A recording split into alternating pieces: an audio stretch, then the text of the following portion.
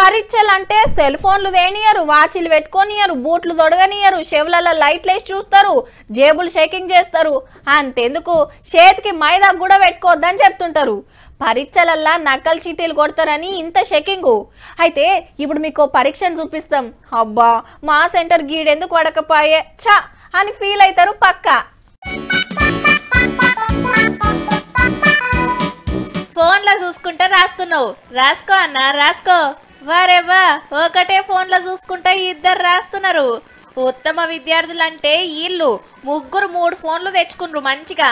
ఈ మేడము ఒయిలకెళ్ళి కమ్మలు చింపుకొచ్చుకున్నట్టున్నది. ఈమె చిట్టీలు తెచ్చుకొని ఆన్సర్లు రాస్తుంది. ఈ అందరి గురించి అని చెప్తాం అందరిది ఇదే కథ. జగిత్యాల జిల్లా ధర్మపురిల ఆచార్య నాగార్జున యూనివర్సిటీ దూర విద్య పరీక్షలు ఇంత పద్ధతిగా నడుస్తున్నాయి. ఓ ప్రైవేట్ స్కూల్ సెంటర్ పడితే దగ్గర దగ్గర కూర్చొని దూర విద్య పరీక్షలకు ఆన్సర్లు నింపుతుండ్రు. సెల్ ఫోన్లో చూసుకుంటా ఓయిల చదువుకుంటా. డిస్టర్బ్ చేయొద్దని ఇన్విజిలేటర్ సుతా లేడుల్లో. కానీ ఈ స్కూల్ పోరలను ఇంటర్ పోరలను పరీక్షలు రాయకున్నా పాస్ చేసినట్టే ఈ ఇళ్ళను సుతా చేస్తే అయిపోవు. ఇప్పుడు చూడుర్రి ఎంత కష్టపడుతుండ్రో పాపం.